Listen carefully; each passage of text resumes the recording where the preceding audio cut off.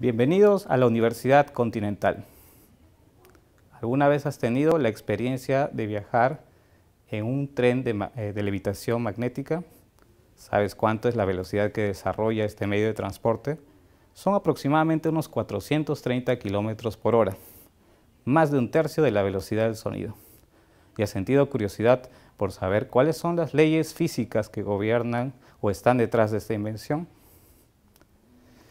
En el curso de teoría electromagnética vamos a abordar diferentes temas relacionados para que puedas aprender cuáles son las leyes básicas del electromagnetismo, cuáles son las aplicaciones de ingeniería que tienen estas leyes y qué invenciones o tecnologías se basan en la teoría electromagnética, tal como vimos con el tren de levitación magnética o también como las antenas.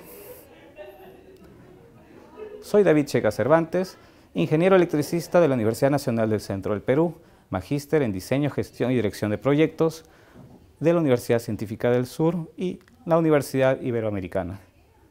También tengo especialización en enseñanza del idioma inglés en la Universidad de Oregon.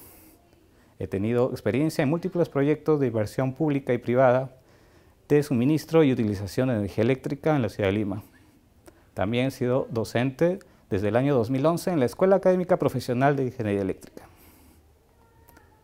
Te doy la bienvenida para este curso de teoría electromagnética y acompañarte en esta aventura de aprender.